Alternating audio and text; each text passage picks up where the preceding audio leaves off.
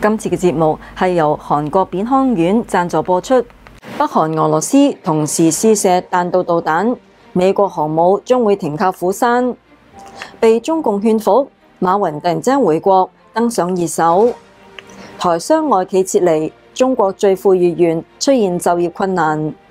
五星連珠景觀今個禮拜登場，北京驚現火流星。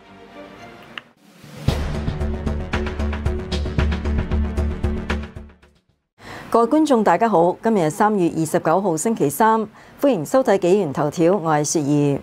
朝鮮再度發射兩枚彈道導彈，引起美日韓三國同時譴責。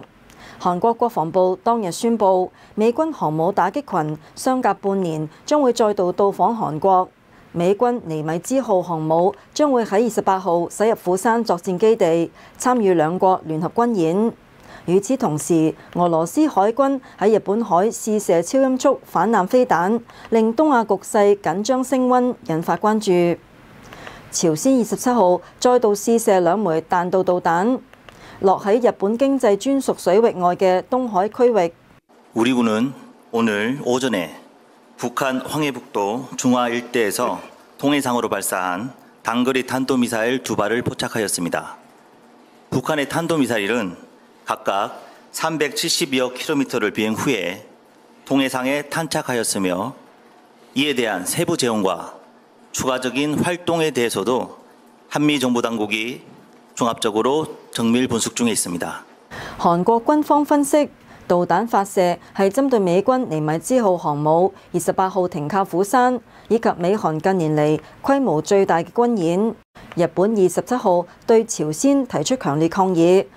並且警告平壤可能進一步挑釁，包括進行核試驗。弾道ミサイルの度重なる発射など北朝鮮による一連の行動は我が国地域及び國際社會の平和と安全を脅かすとともに関連する安保理決議に違反するものであり斷じて容認できません。與此同時，俄羅斯喺同一日，即係二十七號喺日本海從俄軍艦隊試射兩枚蚊式巡歌飛彈。 俄國國防部當日公開咗發射影片，並且宣布俄國海軍喺日本海進行超音速反艦飛彈試射訓練，並且透過 Telegram 帳號發表一項聲明話：喺日本海水域，太平洋艦隊針對一項模擬嘅敵人海上目標發射咗 Monsket 巡歌飛彈。多間日本傳媒報道，蚊式巡歌飛彈由喺日本進行訓練嘅俄軍太平洋艦隊艦艇所試射。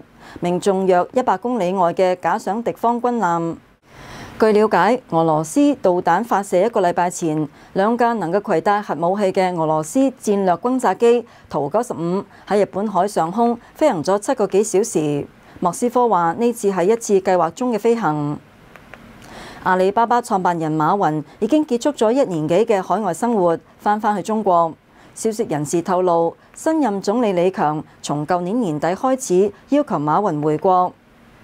阿里巴巴集團持有嘅南華早報三月二十七號同多間大陸傳媒報導，馬雲當日現身杭州參觀咗雲谷學校。呢間係一間由馬雲喺二零一七年資助嘅私立學校。一時間，馬雲已經回國嘅話題衝上微博熱搜。網傳影片裏邊，馬雲乘坐一架考斯特。不時同身邊嘅人交談，據稱車裏邊仲有阿里巴巴集團董事長兼行政總裁張勇，以及螞蟻集團執行副總裁邵曉峰。馬雲之前已經喺海外旅居一年幾，自二零二零年十月公開批評中共監管機構之後，鮮有公開露面。二零二一年年底，馬雲離開中國大陸，旅居海外多個國家同埋地區。就喺馬雲回國嘅消息曝光之前，彭博社仲喺度報導話，中共近嚟一直喺度努力說服馬雲翻返去中國，希望藉此展示政府對商界嘅支持，但馬雲並未答應。報導引述一位熟悉事件嘅知情人士嘅話，話馬雲可能係北京收復當局同私營企業之間緊張關係嘅最佳人選之一，但馬雲對當局嘅邀請一直持謹慎態度，並且話自己已經從阿里巴巴退出。而家專注喺研究農業技術。路透社亦引述知情人士嘅消息話，新任國務院總理李強從舊年年底就開始要求馬雲回國，李強認為呢個有助於平息外界對中共打壓私營企業嘅擔憂。仲有兩名消息人士透露，當局要求包括同馬雲關係密切嘅人，好似佢嘅商業伙伴，前往日本親自勸正喺嗰度停留嘅馬雲回國。自從馬雲創辦嘅阿里巴巴同螞蟻金服成為中共政府監管打擊嘅目標之後，馬雲選擇喺國外居住，象徵住對中共治下民營企業家一種無奈嘅抗議。一間中型私營企業嘅創辦人胡先生對彭博社話：我想講嘅係，我哋嘅生意越大，對我哋嚟講就越危險。馬雲應該繼續作為阿里巴巴嘅精神領袖，喺世界各地旅行，呢個先至係最安全嘅選擇。目前唔清楚馬雲選擇回國嘅內情，以及佢係咪仲能夠自由出國，受到關注。旅美時事評論員唐正遠表示：習近平治國理政就好似翻焗燒餅，一面焗燶咗，急忙翻面繼續焗。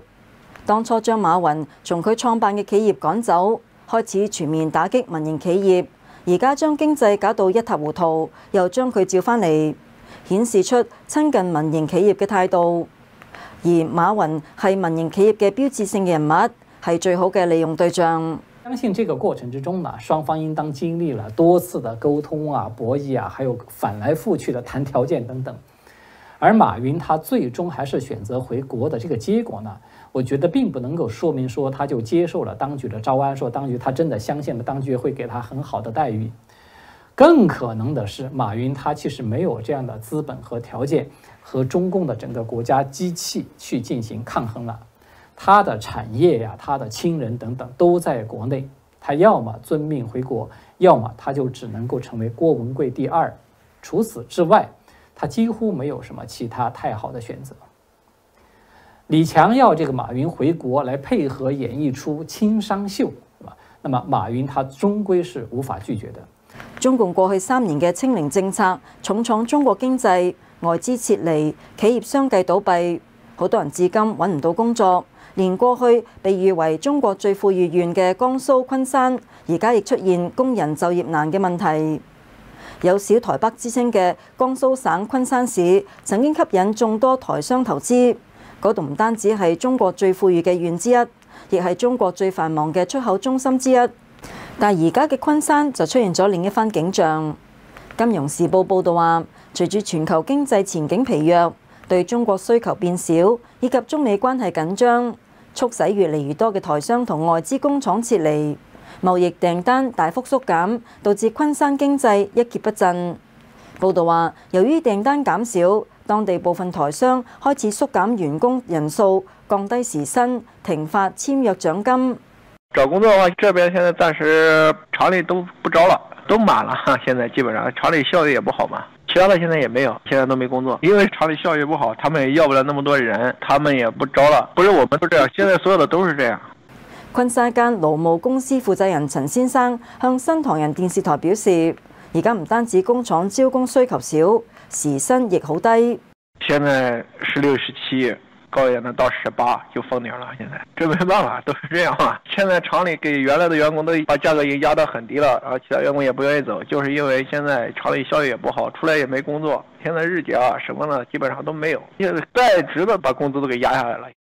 報道話，因為訂單減少，造成勞動力過剩，昆山好多工廠已經開始拒絕年齡較大嘅求職者。厂里现在也不要人，现在还有的往外裁人。那以前工找工作很好找，现在不行了。你疫情放开了嘛，然后人也多，现在形势也不好，厂里订单也少。现在基本上厂里订单少得很，现在人挺多的，现在找不着工作的现在多的是。昆山这块，當地工廠出貨量減少之後，配套嘅物流業者亦叫苦連天。一間同富士康同和碩合作嘅昆山物流集團老闆話。今年第一季度嘅出貨量比舊年同期至少下降咗三分之一。我哋嘅司機曾經喺上海港揾唔到停車位，而家停車場有一半都係空㗎。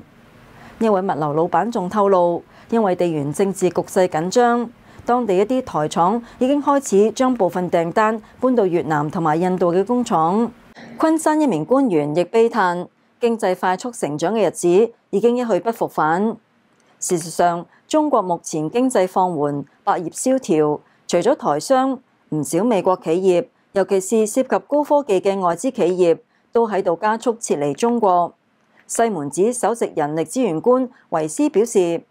公司正喺度招聘員工，並考慮喺印尼、越南同埋泰國等地增設工廠。現在不是外來投資撤而已，中國自己的企業恐怕也要撤到外面去，從外面來做出口，不能在中國做了。所以呢，現在的話，因為製造基地的外移，首先世界工廠角色的衰退，當然就立刻帶來就業機會的流失跟就業問題嘛。Sony 已經將北京嘅智能手機廠搬到泰國，蘋果公司將八個代工廠從中國遷往印度。三星喺中國關閉咗生產手機、電腦、電視嘅多個工廠，轉戰越南。鞋服行業嘅 Nike、Uniqlo、無印良品等國際品牌，亦先行一步將代工廠轉向柬埔寨、越南、孟加拉等國。台灣總體經濟學者吳家龍表示，中國嘅世界工廠時代即將結束。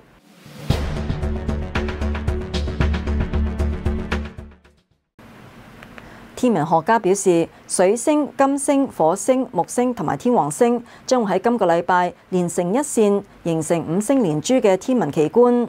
三月二十八號將係最佳觀測日，到時候北半球同埋南半球嘅人都可以見到，包括喺空氣污染較重嘅城市地區。美國宇航局表示，大家可以喺暮光降臨嘅時候，喺視野開闊嘅地方朝向西面睇，呢五粒行星會喺圓月嘅下方形成一道弧線，其中木星、火星同埋最光嘅金星，肉眼就能夠睇到；而水星同埋天王星可能顯得較為微弱，需要借助望遠鏡先至能夠睇得到。到時候不妨仰望夜空，一睹呢個難得一見嘅天文奇觀。與此同時，喺北京等地區亦出現一個天文奇觀。三月二十七號凌晨，一位民眾嘅行車記錄儀拍低罕見異象，一顆耀眼嘅火流星。劃過北京嘅上空，先係閃爍嘅藍光，最後紅光，出現三藍一黃嘅光焰，將夜空照亮，然後墜落。北京天文館研究員朱俊介紹，流星嘅光度達到金星嘅光度，就可以稱之為火流星。從民眾拍攝嘅影片嚟睇，呢顆火流星好光，而且比平時見到嘅火流星更大。佢喺滑落嘅時候發生碎裂，有可能會有隕石墜落。中國自古認為天墜隕石係不祥之兆，人間將有大事發生。唐代著名天文學家、預言家李淳風所著嘅《月耳尖》裡面記載話，流星係上天嘅使者，飛行喺唔同嘅星宿中，向人間展示天景。大家見到嘅流星大，對應嘅流星嘅使命亦大，對應嘅人間事件更大，將會發生嘅災難更重。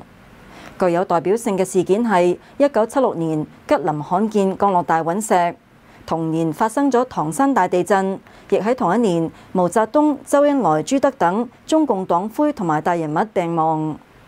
而家我哋嚟睇一下一個健康嘅資訊。B B 出世嘅時候，佢哋嘅肺都係粉紅色㗎。隨住年齡增長，肺部會受到各種灰塵、污染物同埋病毒嘅侵害，肺細胞數量開始減少，呼吸變得越嚟越弱。如果肺成為咗病毒攻擊嘅目標，生命亦都會隨之消逝。扁康丸係徐孝石院長五十年嚟研究呼吸系統疾病嘅成果，幫咗世界各地十六萬名患者。多份 SCI 医學論文證明，扁康丸可以有效改善肺部健康。喺細個時候經歷過扁桃腺發炎嘅徐院長相信，清乾淨肺部可以幫助大家擺脫疾病嘅煎熬。當個肺好轉咗之後，喺頸部嘅扁桃腺都會變得更加強壯，可以識別二百幾種流感病毒同埋幾十種肺炎菌。肺病唔係老人家先至會有嘅疾病，可能隨時發生喺你嘅身上。扁康丸可以達到清肺嘅效果，增加肺活量，令你嘅呼吸更加暢順。有興趣嘅朋友可以去扁康丸嘅海外官方網站了解一下詳情，網址係 www.pyunkang.us。佢哋都有多國語言嘅查詢熱線，香港、台灣、歐洲、澳洲、日本都有。